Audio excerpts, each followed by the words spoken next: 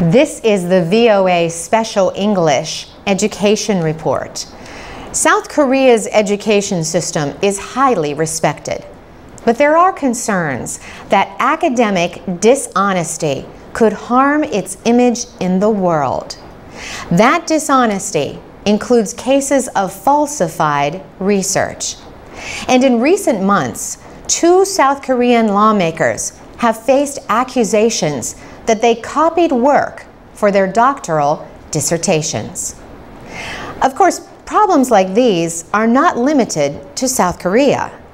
In April, Hungary's president resigned after a university withdrew his doctoral title. A committee found that most of the pages of his dissertation on the modern Olympics were either direct translations or showed partial similarity to other works. Mr. Kim is a graduate student at Korea University who asked to be identified only by his family name. He attended schools in the United States and says Americans seem to understand that claiming other people's work as their own is wrong. He says Koreans may not yet have a well established understanding of plagiarism and whether plagiarism is acceptable or not. A VOA reporter asked South Korea's education minister, Lee Ju-ho, how seriously he takes the problem. Mr. E said the problem is not as bad as it used to be. Still, he says, he wants to put more effort into eliminating plagiarism. Mr. Kim, the graduate student, says current efforts to educate college students about plagiarism are not very effective. But he says British and American professors who teach at South Korean colleges are helping to fight the problem. For example, he says one professor at his graduate school found a student plagiarizing and automatically gave that student a zero.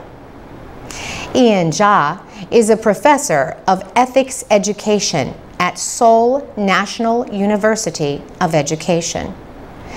He says the training should start in elementary school. He says children should learn that copying their classmates' homework or not identifying their sources of information is wrong. If they understand that, he says, then they will be able to write honest papers later in life.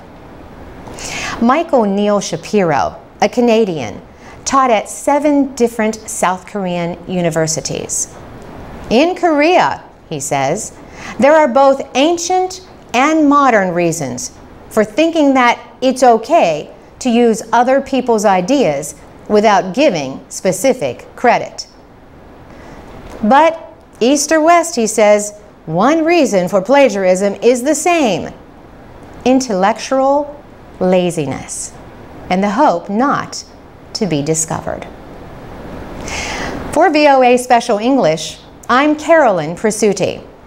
You can learn more about plagiarism and learn English with our stories and activities at voaspecialenglish.com.